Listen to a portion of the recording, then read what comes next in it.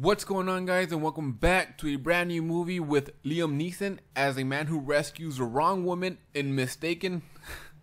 I was watching Taken last night, and uh, well, yeah, there you go. So, anyways, today we're going to be talking about reducers and how to actually do multiple reducers or work with multiple reducers. Now, in the last video, we did we did talk about what a reducer was, basically this function right here, but but let's actually go into Redux and actually look up with how they define reducers so that way you get a better picture. Reducers specify how the application state changes in response to actions sent to the store. Remember that actions only describe what happened, but they don't describe how the application state changes. Yeah.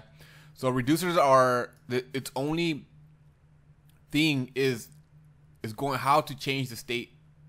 That's it. How it's how it's supposed to. I'm not even. Gonna, I'm not even going to talk about it anymore. It, it says right here, clearly, blatantly, right here. So yeah, that's a reducer. And this function, like I said, this function is called the reducer. We're actually going to separate this reducer to another, to a, a different. I'm gonna say counter reducer. And we're gonna set that equal to this function right here. Like that. And instead of calling it right here we're going to just call in counter re reducer.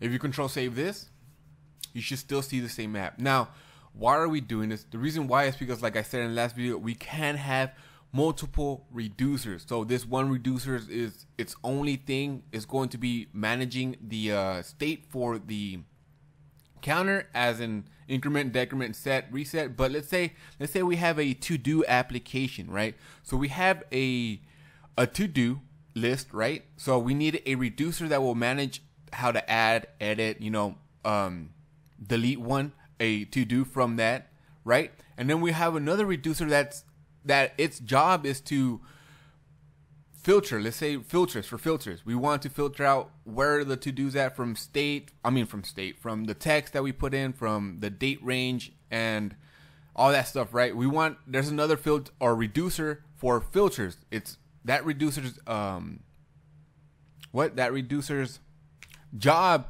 is to only manage the filters state. Now you're trying to see why we, we need we will need reducers in uh, some applications so yeah, just know that we could actually separate our reducers to a separate function because that's all it is, a function, and we're just calling it down here or referencing it down here. Now, let's actually start transitioning to our budget snob application. Okay? And in here, I'm going to like give you how it's going to look like, like how the state is supposed to look like. So for right now, I'm just gonna I'm gonna create a const. I'm gonna call it demo or state demo, and we're gonna set that equal to our state. What our state we want it to look like. Okay, so we're gonna have an expense an expenses array that is filled with a lot of objects because we have multiple expenses, right? So let's say that for right now, we're to only have one object and this one object, we are going to have an ID. And this ID is going to be randomized with like letters and numbers, whatever. Next one is going to be description. We do need a description for our thing. And let's just say uh, rental truck or something like that. I have no idea.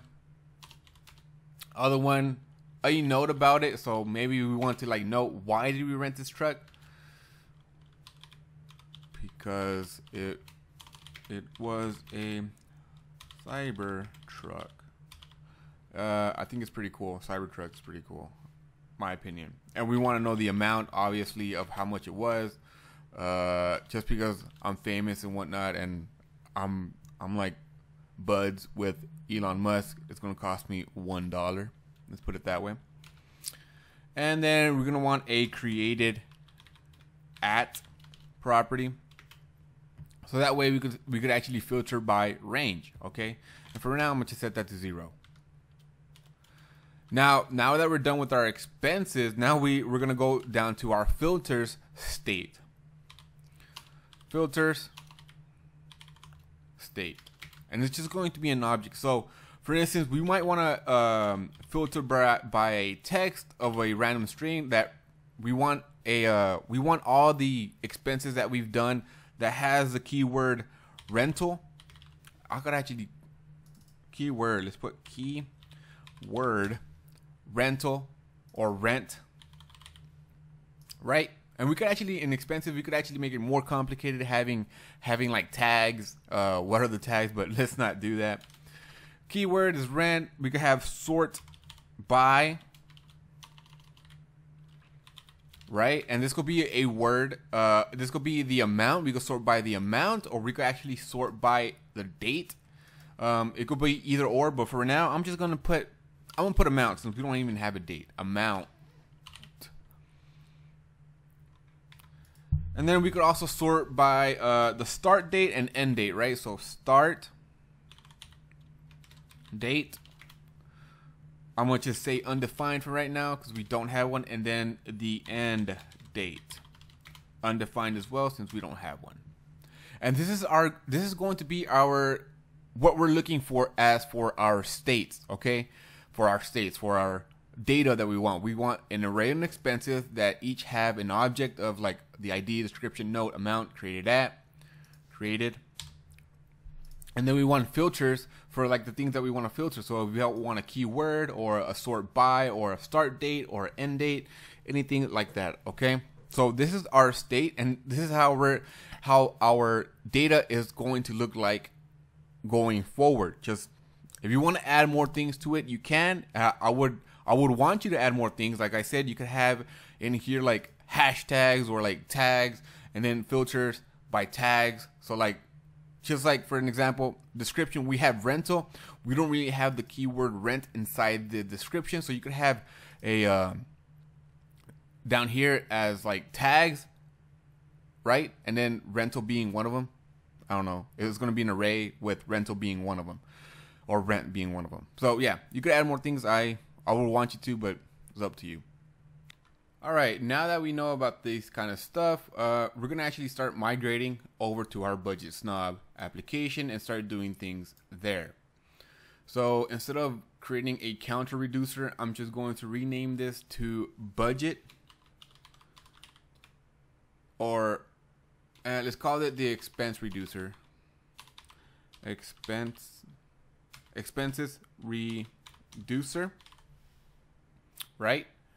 And we're gonna have a state, and our state, like our expense reducer, it's an array. So if we don't have a, if we don't pass in an array, we're gonna just default it to an empty an array, just like so with our action. All this is still the same, you know, action type, but instead of case increment, I'm just going to delete all this right here and I'm just going to leave the default for now, okay? And expense reducer, we do need to call it down here. Control save.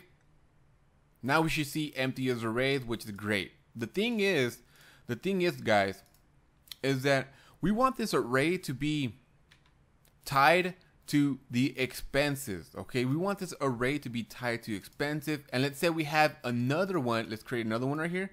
Another reducer const reducer, and this is going to be called the filter filter reducer, and it's going to be an object, right? If you control save this, we're not gonna have we don't we don't have another reducer. We could we could put it in here, and I'm gonna show you how to do this right now. The combine reducer stuff, combining reducers. But we want expenses reducers to be um, tied to the expenses, and we want the filter reducer to be tied to the filters. Now, how do we do that? Well, Redux gives us a a good another export that we could use, and that is called combine reducers. Okay, and it's very very simple to use. So combine reducers. Let's go. Let's do it. Down here in create store, we're not gonna pass in a single reducer. We're gonna pass in multiple reducers, and we're gonna use the combine combine reducer function which is a function, correct? But inside this function, I'm going to split it into another line. Inside this function, we could actually oh, take inside this function we could pass in an object. Okay, let me actually make this way better. Um, put it right here. Okay, so we're passing in an object, and in an object, we're gonna give it the key value pairs. Now, like I said, I want the expenses, this. I want the expenses to be tied to the expense reducer. And I want the filters be tied to the filters reducer. Now, if we control save this, watch it reload. Oh, what do we get? We get our state back because we're returning our state, right? And we get the expenses as an array and our filters as an object. Pretty neat, huh? It's pretty cool. It's pretty cool stuff once you start learning about it and start getting uh, familiarized with it. It's very, very cool. Um, but yeah, let's actually do one more tweak to it. One little tweak. This filter reducer. Obviously, when you open up the application, the filter reducer is going to be, it's going to have default stuff, a default object. The reason why is because we're not going to have a date set. We're not going to have keywords set. We're not going to have a sort by set. Everything's going to be undefined. Or maybe the sort by will have a, uh, a set it, uh, or a automatic set and the keyword probably, maybe not. But the start date and end date is going to be undefined. So what we want to do that, we want to set a, a, um, a default value right off the bat. Okay. So we could set the default value right here the thing is, it's going to be a very long default, right? It's going to be very long because we're gonna have a we're gonna I can literally just copy this right here. We're gonna have this copy this right there. Now this is exactly the same thing, but this looks ugly. You know what I'm talking about? Yeah, it looks like you know. So what I'm going to do instead is Control Z Z. I'm going to create a const up here and call it filter default. And we're going to set that to a an object. I'm just grab this object right here. Copy, paste it. Uh, maybe just do this. Paste it. Okay. And keyword, let's start it off with nothing. Absolutely nothing. Sort by, let's start off with amount. Sure. Start date undefined, end date undefined. And we're to just set state equal to our filter default just in case there is no state being passed in, we, we're to default to our fil filter default, which is this object right here.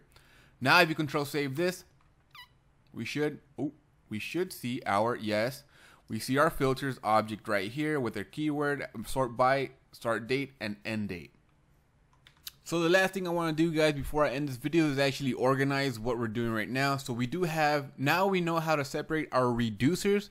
So what I'm going to do is create a new folder in here called reducer, reducers, and inside this folder, I'm going to create new two new files. Our expenses reducer.js and our new file filter reducer ooh dot js i gotta rename this one rename to capital r reducer